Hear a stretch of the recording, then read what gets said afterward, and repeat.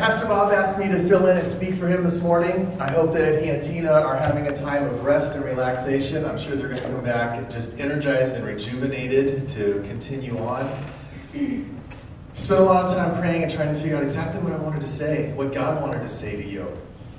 And uh, it's become a little bit of a personal message for myself that I want to just talk about some things that happened this week to me and leave you kind of with a word of challenge and a word of encouragement for this morning.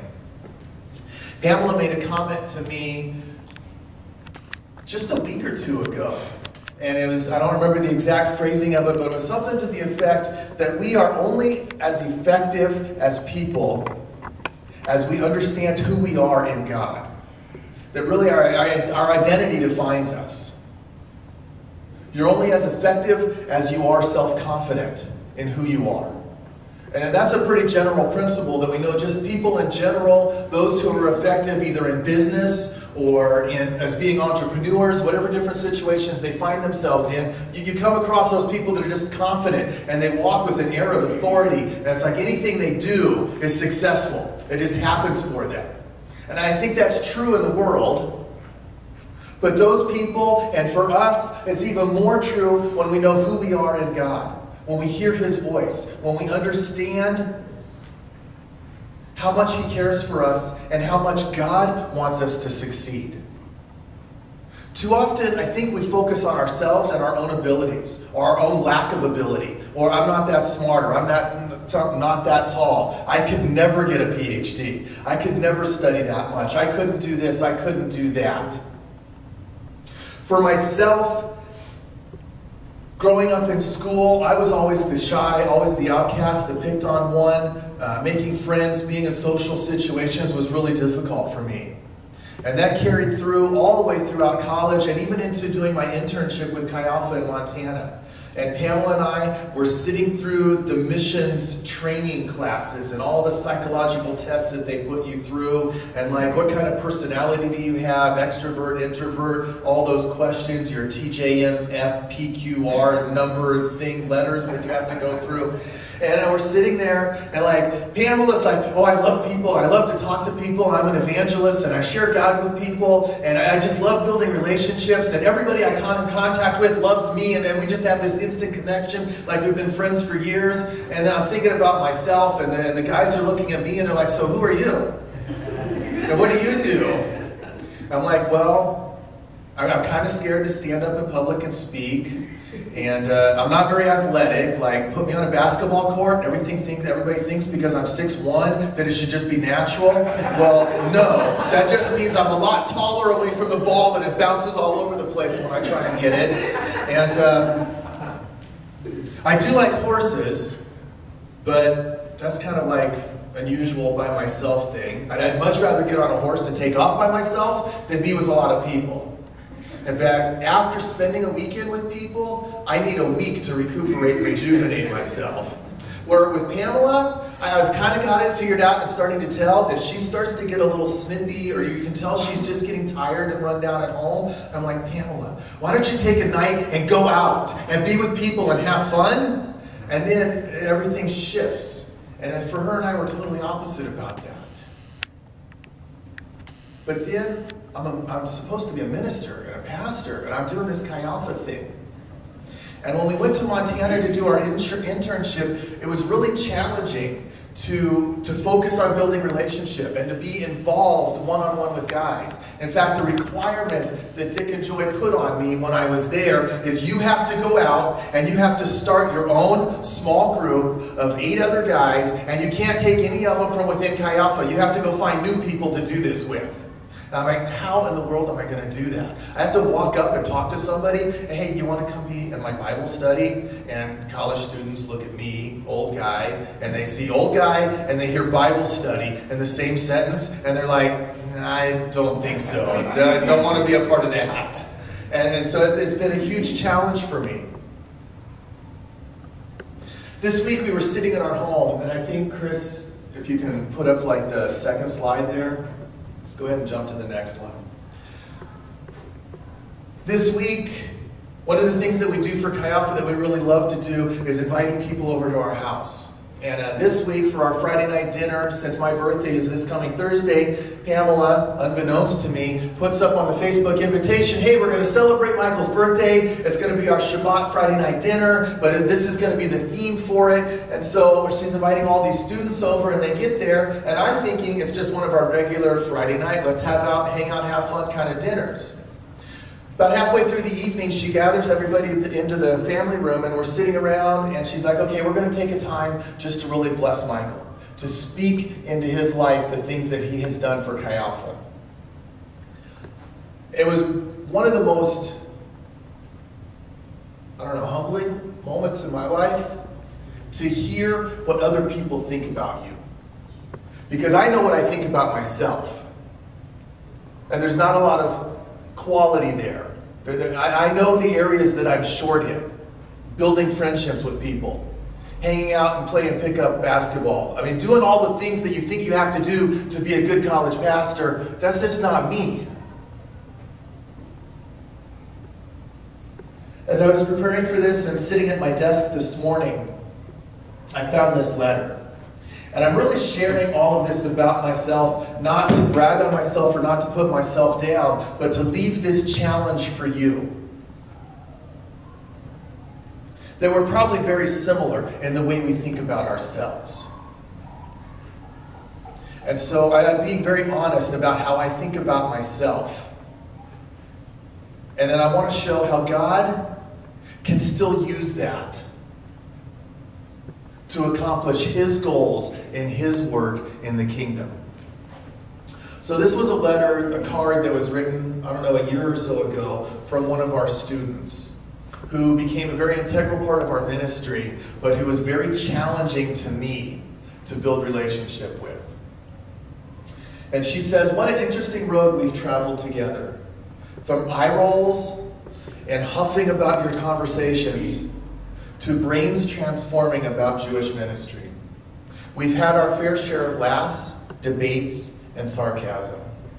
It's been awesome to share life with someone that gets my humor and appreciates my sarcastic nature. I've appreciated the way you have always looked out for me. You're definitely not my dad, but I know you'll always have my back. Thank you for teaching me so much, what it means to be a godly man who is always willing to change and follow God because I didn't have that growing up. And it's been amazing to see in you. It's good to know that no matter how old you get, and I'm not saying that you're old, that God continues to work in your life in amazing ways. I pray that God continues to show you what it means to be Jewish and what role you have in the kingdom. I'm excited to see your ministry go, grow. P.S. Just so that you know, when I get married, you're officiating. So you better begin to work on that. Now, that was written, I don't know, a year ago or so. And just as a total side note, one of the crazy things about the way God works in our lives is uh, she jokes about me officiating her wedding. Well, next weekend, I'm conducting my first wedding. So I've been invited by some of our students to officiate for them. And then I read this this morning of what Jessica said, not even prophetically, but jokingly. I'm like, hey, God, you really are working that I, I, get a chance to practice something that means so much in somebody's life to be able to perform that for them when they ask me to. And so God is just orchestrating so many different details that we're unaware of, that we don't know what's happening. Friday night in our house, we had 15 students or so representing seven different countries from around the world. So there was two students from Iran, there were three students from China. There was a student from India. There was a gentleman there from Ghana, Africa. There was a, there was a young lady there from the Czech Republic in Europe. And we're all sitting there. And two of the really crazy things about this particular group of people, the way they came together on this Friday night, is most of them were not Christian. I mean, obviously, the two students from Iran, the guy from Pakistan, I mean, they are, they're not Christian students. But they are, um, they're, they're intricately involved in Chi Alpha. They call Chi Alpha their group. This is our thing. we own this. It's for us. We define what it is to be Chi Alpha. And they're not Christians. And they don't come to our worship service. They only one of them has ever heard me teach or give a sermon before. And so we're sitting around as a group of people, and they're starting to share about me and what I've meant in their life. The other really crazy thing about this is, is just the way God plans and orchestrates everything. That they've never heard me preach a sermon, but everything that they said was about Christ. And so one of the young ladies, young lady from Iran, starts sharing about how I've been involved in her life that she was moving one afternoon, trying to get out of a house on campus and move to a different apartment building. And I go over with our minivan, all the seats pulled out of it to grab all of her stuff. And she's using, she had all of her pots and pans packed into a suitcase, and all of her clothes thrown in a giant box. And everything is just kind of, you know, college student falling all over the place. I've just got this carload of things I got to get out of one house and moved over to another house. And uh, I, we get everything loaded up, and we pull out of the driveway, and we're headed down the street just a few blocks from here to come down Regent toward campus, and she just loses it, starts crying.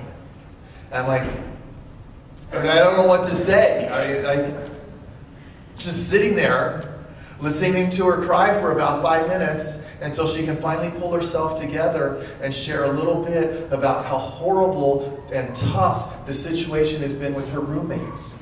And I, I don't didn't have any advice to give her. All, all I could do was sit there and listen. Couldn't fix the situation, didn't have anything to speak into it, but just to sit there and listen and drive her over to her new place and help her carry all of her things up the elevator. Five trips to get everything into her new apartment. And she's sitting here Friday night talking about how when she finds somebody who she wants to marry sometime way, way in the future, she says, that I've raised the bar on what it is to be a man and a husband in her eyes, of the kind of person that she's looking for to marry. I'm like, I don't know. I mean, it's like we hang out, we do social stuff together. I've helped her move. We, she comes to our house and plays with my kids all the time. She's never heard me preach. She's never heard me teach. She's never, I mean, it's just such a different relationship with her than with all the other students. I mean, it is not my teacher pastor role in my life with her. Uh, the other young lady in the, the black tank top with the floral dress there is from the Czech Republic. She grew up, Europe has a predominantly Catholic background. So even if you're completely unreligious, you've probably seen some of the old cathedrals that are thousands of years old, or you've been to a mass before. And she's come to a few of our, she came to a lot of our worship services on campus. Uh, she came to our baptism service at the end of the year. And after the baptisms, we're walking back from Picnic Point, and she's asking me questions about who, how can you be Jewish and be a Christian? That doesn't make any sense to me. And what is this baptism thing? I, I thought like as a baby you sprinkle water water and put a cross on their head with oil or something. I mean, just she has all these traditional perspectives of what it is to be a religious person. And as we're walking back from Picnic Point, she's like just inquisitive about who am I and how does this work and how does it fit together. And like, hey, why don't we get together for coffee later this summer and you can ask me and quiz me. And, it ended up that we did hang out at Starbucks one afternoon. And so sharing my testimony, my story, being Jewish, growing up in a Christian school, having no religion in my house, all the different things that make up who I am. And sitting here Friday night and sharing with her interaction with me, she's like, "You made religion real to me." I've grown, I've grown up, I've grown up Catholic. I've gone to mass, and I totally hated God. I hated religion. It, it, it wasn't, it didn't mean anything to me. In fact, I'm an atheist. I don't even believe in God because of my upbringing in the church that I experienced in Europe. But being a part of Chi Alpha, of Chi Alpha, she's like, you've made it all made sense to me.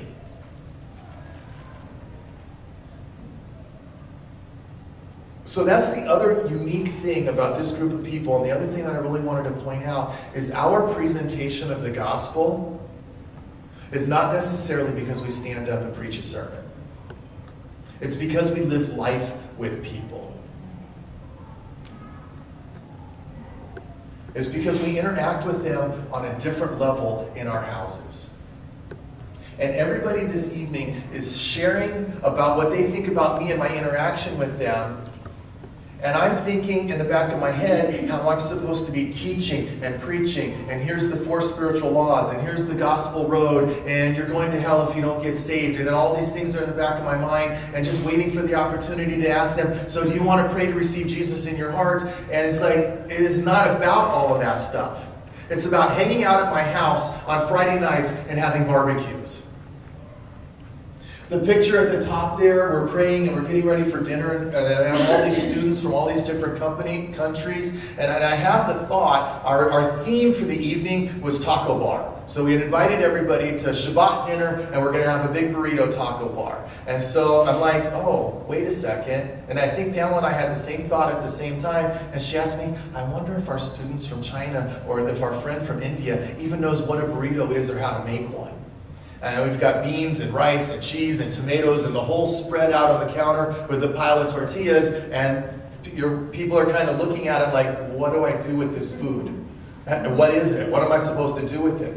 So I'm standing up there explaining to all the friends that are there, here's how you make a Mexican burrito. You grab the tortilla and you spread some beans on it and you pile on all your cheese and meat and tomatoes and salsa and jalapenos and everything that you want, want in it and you roll it up. And for our students from China, you roll it up the same way that you roll a spring roll. oh, okay, that makes sense. I, th- I think I can figure it out and do that then. And so we let everybody loose and just kind of stand back and watch what different people from different countries pick and choose to put in their burrito and what they think they would like and everything in it.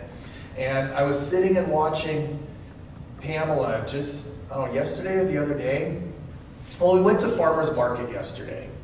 And as we're walking back at the end of the day, Pamela and I are kind of in the back with our four kids walking 10 or 15 feet in front of us. And she just makes the comment, look what we've created. and I think she meant that in the really physical, spiritual sense of, of look what we've created and how we've invested in their lives, and how the four of them, at that particular moment, were getting along and holding hands and helping each other walk down the street. And it was like something clicked and it actually worked. And I'm sitting and watching Pamela yesterday, I think, is sitting at the dinette table with Elijah, or no, with Halia, one of them, and goes get she goes and gets a box of vanilla wafers out of the cabinet and gets a couple of small cups and fills the cups with what would you put in the cup? Milk. And she brings the cups over to the table and she's like, here's how you eat a vanilla wafer. You know, at the heart of the whole thing about Christianity, that's what discipleship is. It's teaching somebody how to roll a burrito. Or teaching your kid how to dip a wafer in milk. This is how you eat a vanilla wafer. Halia knows how to eat an Oreo cookie. You open it up, you scrape the filling out with your teeth, and you throw the rest of it away.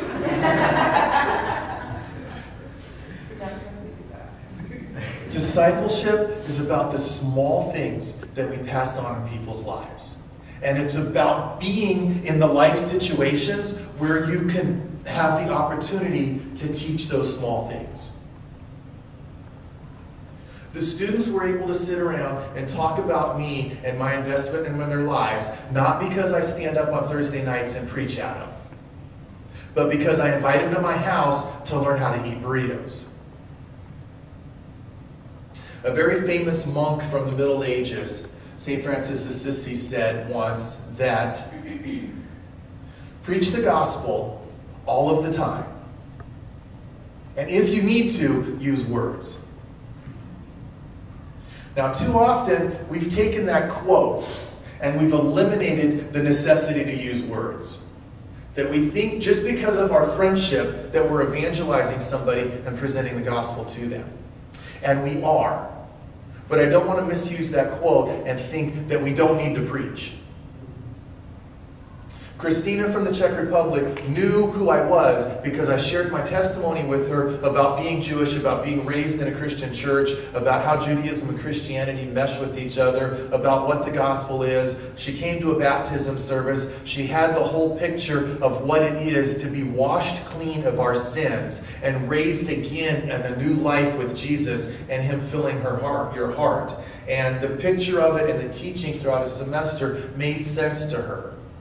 So the two things have to go together. But the reason that I was able to share that with her is because I invited her to my house and taught her how to eat challah bread and roll a burrito and have Shabbat sushi night, which is the most crazy contradiction in terms that you can think of when you stop to think about it.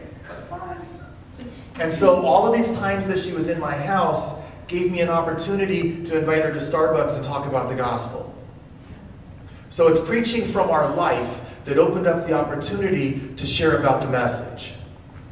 And those two things have to go together with each other. Sometimes we try to use words, but we haven't had an opportunity to be open in a person's life. Sometimes we limit our life experiences to friendship, and then we're, I'm so afraid that it's going to ruin our friendship if I ever say anything about Jesus to them. The two have to go together of building a life with a person and sharing the witness of the gospel with the person. So I want to focus a little bit on discipleship this morning. And on the next slide there, just the Hebrew word for disciple is talmidim, uh, the plural, disciples. That Jesus was a disciple of his Father in heaven. Everywhere that he went, everything that he did, the only things that he did do was what he heard the Father in heaven telling him to do. That his relationship was so secure, his intimacy was so perfect with God that he knew where to go and what to say. Before he picked the 12 disciples, he went up on a mountain and prayed over a night to come back the next morning and know exactly which guys God was leading him to. In fact, Nathaniel, God didn't even lead him to Nathaniel. God turned it around and said, Hey, Nathaniel, go find Jesus. And Jesus says, I saw you sitting under the fig tree, and I know the experience that you were having at that moment. God picked you out for me, not I picked you out. I mean, Jesus was so in tune with the spiritual aspect of what was going on, even in picking his 12 disciples, that some of them came walking up to him. In fact, most of them did. Hey, I know you're the Christ, and we've been with John the Baptist and following his teaching, but you're the guy. And you're the one that we're going to follow. Because of that night in prayer, the work of picking the 12 was easy. They walked up to him. And Jesus only had to weed out which ones are you supposed to follow me. And he spends the next year, year and a half, three years with them, teaching them, walking around every day, having a fish, fish fry over a campfire on the beach, hanging out in the middle of the desert, looking up and counting the stars in the middle of the night, doing, doing all those life experiences that you do when you go hiking with a person for three years and you're camping out and eating fires and eating food over the campfire. Jesus is that example to us of being in that personal, perfect relationship with God. That above everything, he was obedient. In Matthew 5, it kind of goes through this whole thing of Jesus' obedience that I came not to destroy the Torah, but to fulfill it, to carry it out, to obey every commandment. John, the gospel writer, in his letter of First John, picks that up and says, If you love me, you will obey my commandments. And so obedience becomes a huge cornerstone in our relationship with God as a disciple.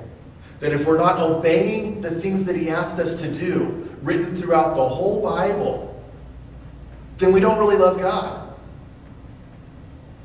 And so we want to talk about grace, which God is a God of grace, and He gives us a lot of leeway and a lot of freedom to figure out our lives and to live our life with Him. But we can't rely on grace for an absence of obedience.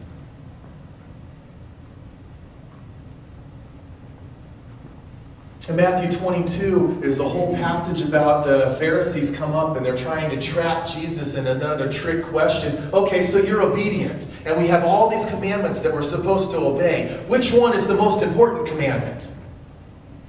And Jesus picks the first one, which is actually the first of the Ten Commandments when you read that introductory sentence to love God. I am the Lord your God. That's the first commandment. And in Deuteronomy, it says, Love the Lord your God with all of your heart, with all of your soul, with all of your mind, and with all of your strength. And so Jesus picks up a Torah commandment and says that is the most important commandment that you're supposed to observe and supposed to obey to love God. Everything else flows out of that. Just like our own kids.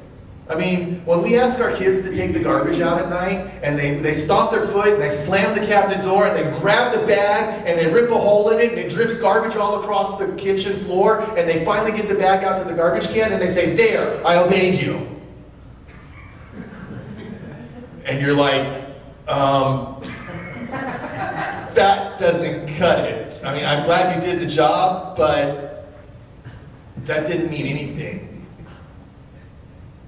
And God looks at us the same way. And I think, unfortunately, we react to God the same way sometimes. Like God tells you, go buy an extra gallon of milk and walk across the hall to your neighbor and give it to him. And you're like, I don't know, I don't have any money. I can't do that. And are you? I'm, I'm late for work, and I, there's no way I can take that extra two minutes to do that today, God. Are you serious? Okay, fine. Just because you told me to, I'm going to go and do it, God damn it. God's like, well,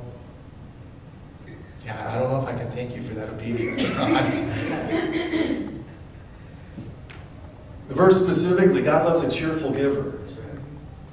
They were, they were supposed to give out of, a, of, a, of abundance. And even when we give out a sacrifice, it's still cheerfully. It's still because, God, I know you've given me so much.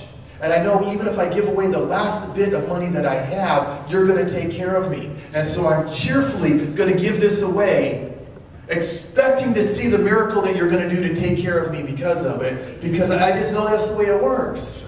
And so our obedience flows out of love. We're not obedient to God because He's put a requirement on us, but we're obedient to the things He asks us to do because we know how much He loves for us and cares for us. And that's the definition of what a disciple is obedience out of love. Because we were loved, then we obey. The Great Commission, Matthew 28 go into all the world, making disciples, teaching them everything that I've commanded you, and baptizing them in the name of the Father, and the Son, and the Holy Spirit. In English, our verb tenses get mixed up. And from our Dick and Jane books in second grade, as we were growing up, we learned that the English word go is a verb. Go to the store. And so we read this sentence and it says, Go make disciples. Well, what's the verb? Go. What's make? It's just one of those helping verbs. And in English, we get that all turned around. Well, if you read it in the original Greek, or even in the original Hebrew, then it's much more like Spanish or French or a lot of other languages where when you conjugate verbs, the tenses play out differently. And if you read this sentence in the original language, you'll recognize that go is not the verb of the sentence. The word order and the verb tenses make disciples is the main clause. So in English, a more understandable translation might be while going into all the world, make disciples. What's the key idea when you say the sentence that way? Make disciples as you're going throughout all the world living your life. And so, the great commandment, the keynote commissioning of ourselves and what we're supposed to do is not go into all the world and live a happy life. What we're commanded to do is make disciples as we're traveling throughout all the world. And what are we supposed to teach our disciples? Everything that God commanded us to do. Not everything that we've learned about Jesus, but everything the Father commanded us to do. Where are the Father's commandments?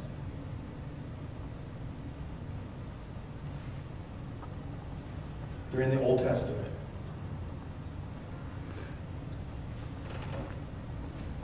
So Jesus lives out this perfect example of being obedient, of letting his obedience flow out of his overwhelming love for the Father, and passing on that teaching to everybody that he comes in contact with. First to the 12. Jesus walked around as a teacher, which in his cultural setting, there was a lot of teachers. There was a lot of different schools of thought and all these little bands, all these little tribes of disciples. Like John the Baptist was one. And then Jesus comes along and becomes one. And all these Pharisaical schools, the Pharisees and the Sadducees and the Essenes, and they all have their individuals within the group that are walking around and teaching each other. So every time a Pharisee comes up and challenges Jesus, well, we've heard it said that this is the way this verse is taught. What do you say about it? And they had two purposes in mind. The one that's revealed in the New Testament is they were trying to trap him and getting him to break one of God's commandments in the way he interpreted the verse. But the other thing is, those questions and that interchange of, well, we say this, what do you say? That was normal. That was what all of the different teachers were doing as they traveled around that day. So they had their group of students, that faithfully followed them around like little puppy dogs. And you see that with Jesus and his 12 disciples. Peter just lapping along, trying to do the best that he can do. And sometimes he totally stumbles over himself and says something really dumb.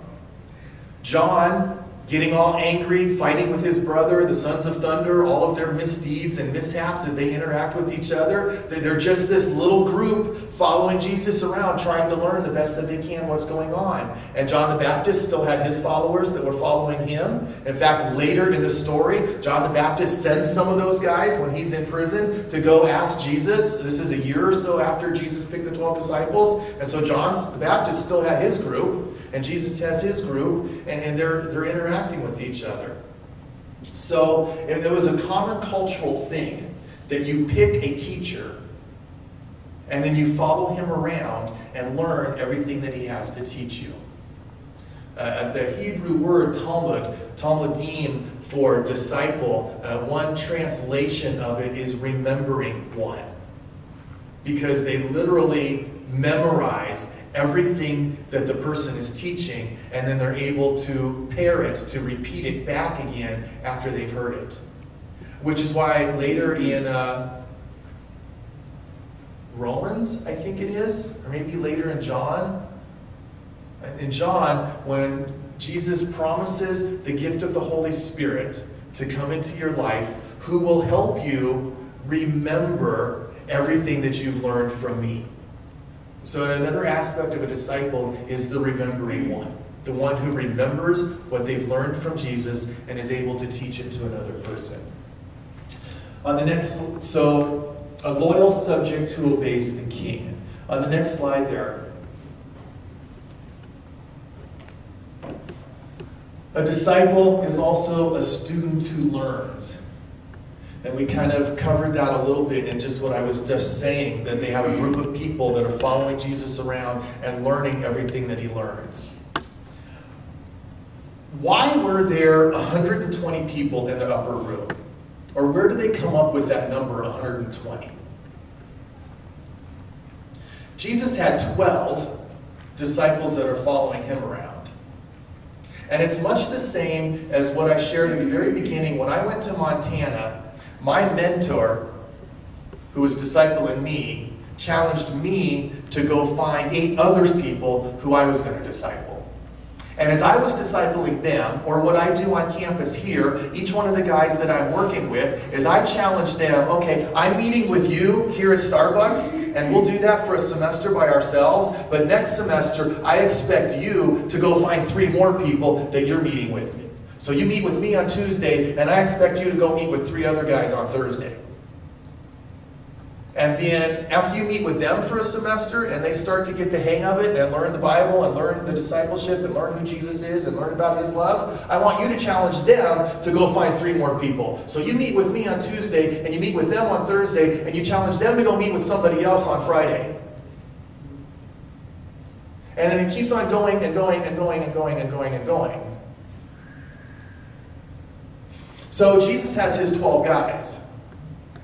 And he's told each one of them, you better go find 10 more. And all of a sudden, there's 120 of them in the upper room that have been learning about Jesus for the last year and a half. So that on the day of Pentecost, they can all show up in the temple courts and be filled with the Holy Spirit and empowered. And Jesus or Peter stands up and gives his big sermon, and then all of a sudden 120 people take off around the countryside. And they're teaching and teaching and teaching and teaching more and more and more and more. Uh, Matthew 13 and Matthew 15, the common phrase in both of those verses, they follow right after or right before Jesus, Jesus teaches a parable. And so he gives this public presentation of a parable, a story that gives a kingdom principle, and then he turns to his disciples or he turns to the group of people with him, and he's like, Do you hear and understand what I've been trying to teach you? It is a key phrase that pops up that a student is one who learns. It's not just that you heard the story, but do you know what the story meant? And are you able to go teach it to somebody else? So a disciple is one who learns. A disciple is somebody who lives a life of righteousness. Matthew 5 6, one of the Beatitudes those who hunger and thirst for righteousness shall be filled. It's, it's hard for me to teach anything to anybody if I haven't learned it for myself. Pamela's challenge of me a week or so ago of how much do I really believe that God loves me? How much do I really have faith that He wants to work through me and do the best through me?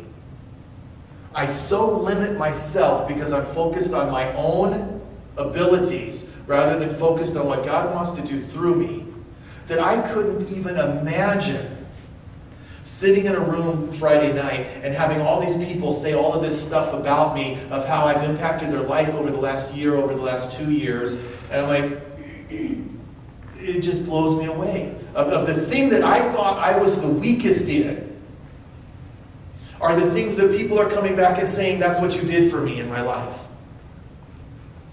Ping is a brand new student a brand new Christian from China. He's been a part of our group for about a year and a half now. Uh, he came to our Chinese New Year's celebration, and then he's just kind of stuck with us ever since then. He went through the Father Heart of God teaching that we did, and uh, as we're sitting there in the prayer time afterwards, and Pamela and I, it's our turn to go pray for him and pray words of encouragement into his life. And I, we walk up to him, and I'm like, wait a second, wait, I think there's a more basic question. Ping, how are you doing? What did you think about the conference? Who, how, what do you think about Jesus? Who do you think Jesus is? And he's like, well, I've always known about Confucius, and Confucius is a really good teacher. But Jesus actually died for me. And I'm like, Pamela and I are just kind of, well, I was ready to give the whole gospel message, and, and can we pray for you to get saved? And, and, and I have all these questions in my back of my mind, and I don't even get to ask the questions. He just starts spitting it out. And we're like, so, Ping, what do you want to do? What does that mean to you that Jesus died for you? And like, well, I, I think I need Jesus to be my Savior.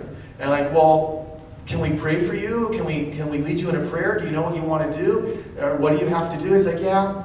I, I think I need to ask Jesus to live in my heart. Well, do you need us? Do you know what to say? Can we help? No, I, I think I can do it by myself. like, okay, well, do you want to pray now? Yeah, sure. And so he just sits there and starts praying. And I, I don't even get to tell him what to say. He just, can you please repeat after me the sinner's prayer? Like, no, it all makes, he already got it all. Jesus had already done the work. The Holy Spirit had already taught him in his mind and in his heart what he needed to do and what he needed to say. And all he needed was the opportunity to do it for himself. And I didn't have to do, I didn't get, I didn't get to do anything except sit there and watch. And he stands up Friday night and he's like, I'm so thankful that I got to meet you in Pamela. And I don't know, I probably have, but it hasn't been a conscious thing. I don't know that I've ever used the word disciple with Ping. I've never said, You are my disciple. I've never said, Come and learn what I have to teach you about God. I've, I've always, hey, when you want to come and hang out at Starbucks with me, and we've got this little book that we'll work through. Like, yeah, I'd love to. And we sit there and we go through this little, like the green book, the purple book thing, and we learn about God. And he, uh, he wrote a birthday card for me, and he's sitting standing there Friday night, and he's like, I'm so glad that I get to be a disciple of Jesus. I've learned what the truth is about being a disciple. And that's the words that he chose to use that I don't think I've ever said with him. And again, one of the areas, building relationship with guys and trying to draw them into an intimate relationship with God. And guys and intimate, wives know that's just, that's a challenging word to get a guy to figure out. And then you want me to be, intimate with this person God can't even feel, touch, know, out there somewhere thing. You want me to be intimate with God? I'm trying to figure out my own emotions as a man. And you want me to be emotional with God, but I have a hard time feeling and touching. Well, yeah, let's figure it out together. And here's Ping saying how thankful that he was to be a part of that in my life in an area that I struggled with so hard myself.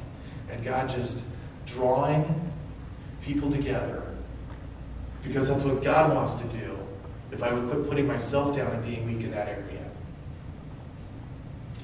On the next one, just uh, two more, I think.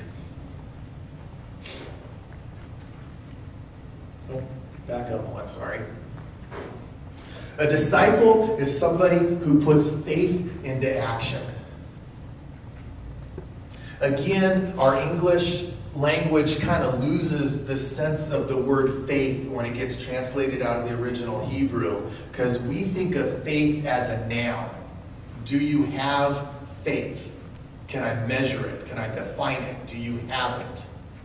But in Hebrew, faith is a verb. And so it'd be better thinking, are you faithful? Or do you faithfully live your life? Because faith is something that you do, it's not something that you have. I know that God exists. That's not faith. That's knowledge because of experience or because of choice, because I've made a decision God exists. It's a statement of truth, it's not necessarily faith. Faith is what you do with that. Faith is how you act it out. Okay, because I know God exists, I'm going to exercise my faith in the way I live. Matthew 25 is the parable of the talents. One guy gets five talents, one guy gets two talents, one guy gets one talent. The first two guys do something with their talents. They invest it, they make a profit on it, they bear fruit because of the investment that was given into them, and they have more talents to give back to Jesus when he shows up to collect. The third guy goes and buries his talent, his money in the ground, and does nothing with it.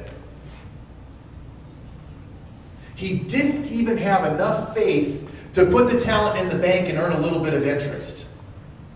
He didn't, he didn't have any faith in the banking system that he was going to get something as a return. Which, in our current climate of the stock market, is totally understandable, but he didn't, he didn't even try. He didn't do anything with it, he buried it. His faith was never put into action. And when Jesus came back to collect, he's like, Sorry, I didn't do anything. True with each one of us. Our key verse in Chi Alpha comes from 2 Corinthians 5.20. And as you read through that whole paragraph there, there's two phrases that stick out really big to me. And one of those is that God has given us the ministry of reconciliation and he has given us a message of reconciliation. That's Paul writing to the Corinthians as a whole group in the city of Corinth. And so the letter is very applicable. It could have been Paul writing to all the people in Madison gathered in the church of Capital City. And he says, I have given you both the ministry and the message of reconciliation. That God has given to every one of us a message, something that we can share in people's lives. Your message is your story. When I was sick with the flu and heaving and couldn't get out of bed for three days, God showed up and healed me. When I couldn't pay the electric bill, somebody put a check in the mailbox and I had enough money. When my kids were acting out and I had no idea how to control them, all of a sudden I had this thought and I knew what to do. When this was happening in my life, God showed up in this way and did this for me. Do every one of you have some God story that you can tell? At some point, somewhere in your life, God did something. Go tell someone about it. On campus, I can walk up to a student and I can ask them, Do you think God is real? 90% of the time on our campus, they'll say no. And I can say, Well, do you remember in your philosophy class, there's the teleological, and there, there's all these philosophical proofs about why God could be real that the philosophers have come up with Kant and Immanuel and Descartes and, and all these guys. And we can sit down and we can have an argument, and we can have a discussion about why God is real. And I can prove that God is real. And they'll look at me and say, Well, no, I, I just don't believe it. That doesn't work. I, I don't care. Maybe that's true, but it doesn't mean anything in my life, so what? Or I can walk up to a student and I say, Do you think God is real? And they're like, Well, no. I'm like, okay, well, can I share a story that happened in my life?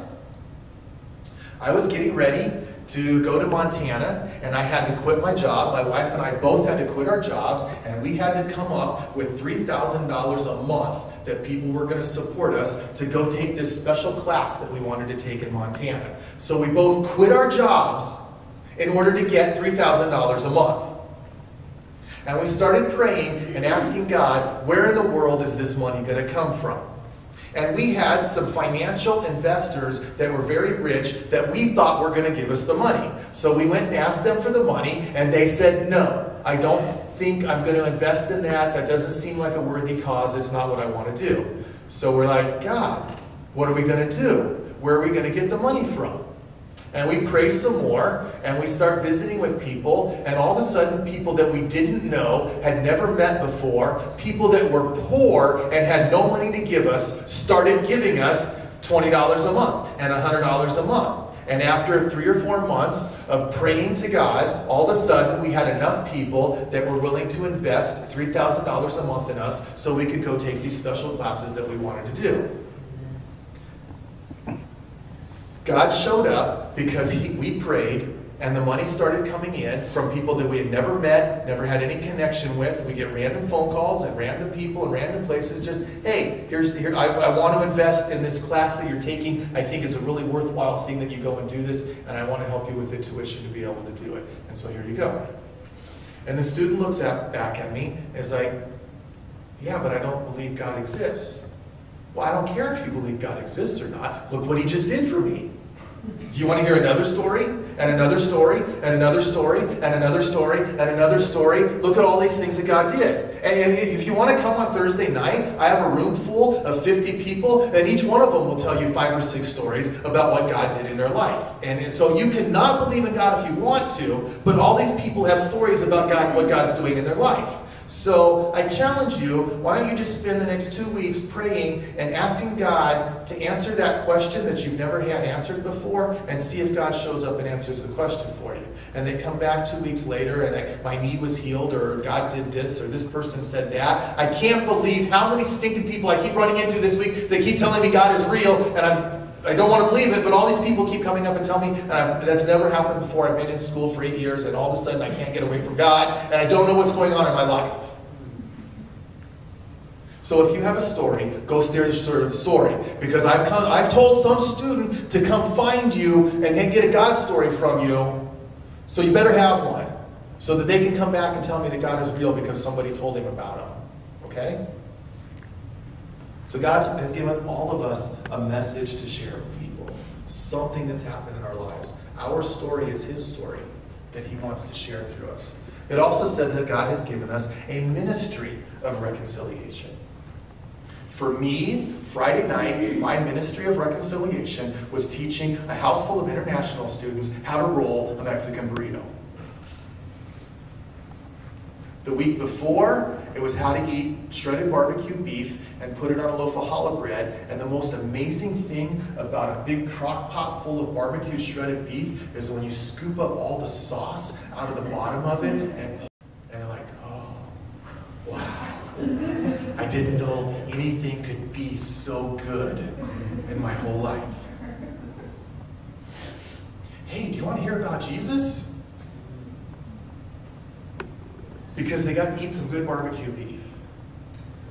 I think there's several of you in this room that have the ministry of backyard barbecue. Some of you have the ministry of come have coffee at Caribou with me. Some of you have the ministry of I heard your car broke down, can I give you a ride to work today? Some of you have the ministry of I know that you need a ride to the grocery store and you're an international student trapped on campus, so can I take you to Super Walmart? Have you ever seen a place like Kohl's before?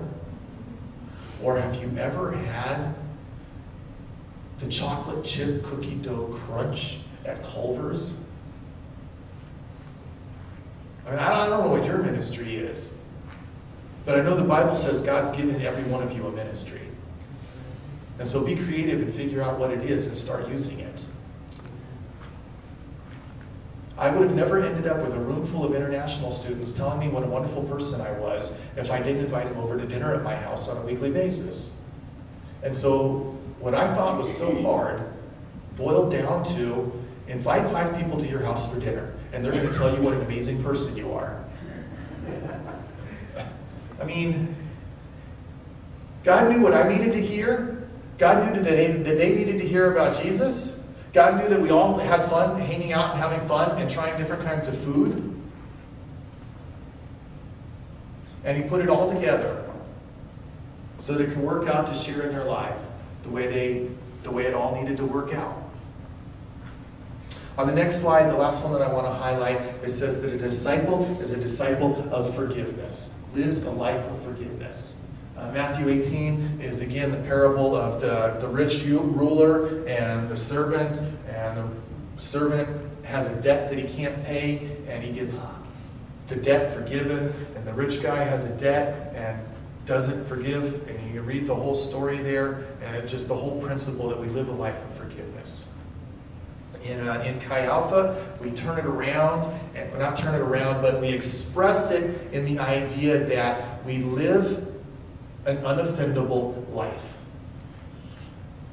So that no matter what anybody does to me, we've made a commitment with the people in Chi Alpha that we know you have my best interest at heart. And I'm making that commitment to you that I have your best interest at heart. So if I hurt you for some reason, I didn't mean to. And I expect you to not be offended over it. Hurt, yes. Come tell me I did it, yes. Allow me the opportunity to ask for forgiveness, but we live an undefendable life. And that's a two way street. That means I choose not to be offended by what other people do to me. And I choose, they choose to allow me forgiveness when I offend somebody else.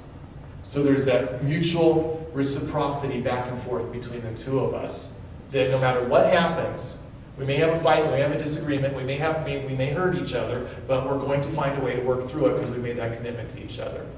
So we live a life of forgiveness. Because it says in James that if you want to be healed, confess your sins to one another so that you can be whole, so that you can be healthy. And then finally, we live a life of humility. The stories that I've shared about myself are not bragging on myself. That I really wanted to highlight my own sense of insecurity, my own sense of shortcoming in my life. That, that I, I'm introspective enough to know where I don't measure up to God's standard, or to my kids' standard, or my wife's standard. But it's not about where I don't measure up. And it's not about sitting in a room full of international students who have a bunch of great things to say about me. Because, yes, through God, I was able to interact in amazing ways in their lives, but it was because of through God. They only see a limited picture of me, of what I share on Friday nights. And so I still might have the tendency, well, they, they really don't know the real me. They only know the me that I show, my Chi Alpha face. But God wants to work through us. He wants us to be humble. He wants us to be transparent in sharing our shortcomings with each other. He wants us to be transparent in sharing our celebrations with each other. that we can learn from one another. I know what I'm not skilled in, and I'm so thankful that Pamela is the relational, interactive person that holds that aspect of Kappa together, that the two of us can work together as a team because we know where we complement each other and able to work together. That you guys, as a group of people here, and the many that are missing today, are starting to learn and understand where your different strengths are. When, when we as a church pull off International Thanksgiving dinner and are able to, some people carpool, and some people set up tables, and some people vacuum the floor afterwards, and some people cook, and some people do the dishes, and some people sit at a table and are great at conversation and are table hosts with and, and able to interact and dialogue and build those, build those crazy balloon turkeys because you've got that gift of craft and creativity and all the different skills an International Thanksgiving dinner that we do as a church is a great example of how each one of us lives up to the individual ministry that God has gifted each one of us with and is able to impact the lives of a hundred students that come to hear and learn about what Thanksgiving is and get an opportunity to hear about Jesus and about love at the same time. That happens here in the church as a group, and it can happen in your house as a family or in your book club, or in your office space, or in any other situation that you find yourself. As we walk a life of humility, to be open to share with one another. Hey, I'm really not so good at talking to people, but I know you're a great conversationalist. So I have a car. You can talk. Why don't we take this person to coffee? And Start finding ways to, to interact with each other, to live out our life of faith, to, to put our knowledge about God into action in a way that touches the people around us so that we can be obedient to the things that God's asking us to do.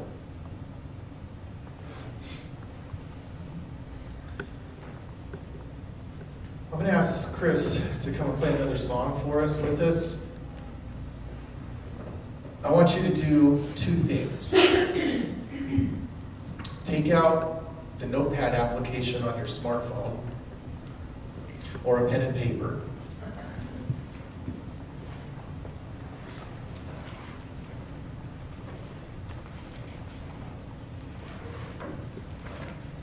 And I want you to write down three things. The first thing, and just the first thing, just a couple of words to trigger a thought. What's a story about something that God has done in your life. What is the word of reconciliation that God's given you? What's a story? What's something that God's done for you?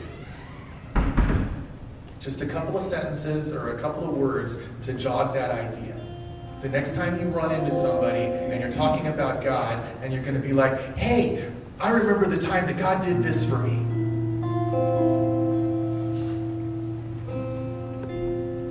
Second thing that I want you to write down is what are your hobbies and likes? What things do you like to do? Art, cooking, horseback riding, shopping, drinking coffee, going to the art fair, going to a fancy restaurant,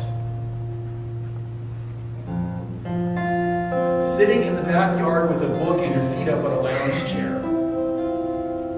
What is it that you like to do? Pulling weeds in the yard, pruning trees, working in the garage, tearing your car apart. Whatever things you're writing down or think of that you like to do right now, your challenge is invite somebody to come do that with you. And while they're doing that with you, Tell them about number one that you wrote down.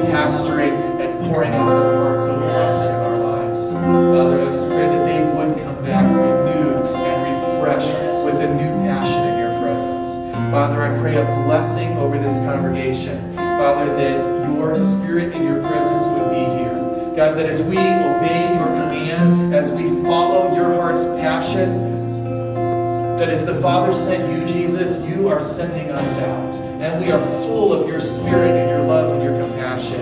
God, I pray as Psalm says that you would be the lifter of our eyes, that our focus would be on you, that we would see your face shining brightly in our vision, and that our eyes would be off of ourselves. Father, I thank you for your spirit in each one of us. God, let your spirit rise up within us, that we're full of your peace, that we're full of your skill, of your love.